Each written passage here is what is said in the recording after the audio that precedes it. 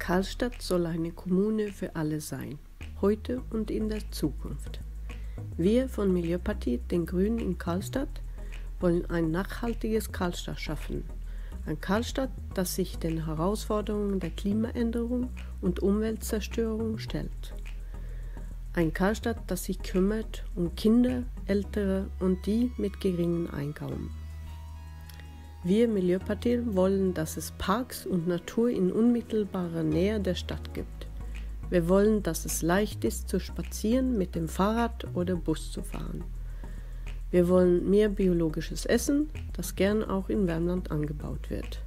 Karlstadts Schulen und Kindergärten sollen noch besser werden, so dass Kinder eine schöne Kindheit haben und gute Ausbildung bekommen.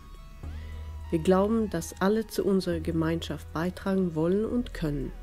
Es soll einfach sein, eine Arbeit zu finden, wenn man nach Karlstadt kommt. Milieupartiet will eine lebendige Stadtmitte investieren. Unsere Stadtteile wie Voxnes, Kronoparken, Herrhagen und Rüd sollen lokale Zentren mit Geschäften und Cafés sein. Wir wollen, dass Menschen mit unterschiedlicher Herstammung in den verschiedenen Stadtteilen zusammenleben können.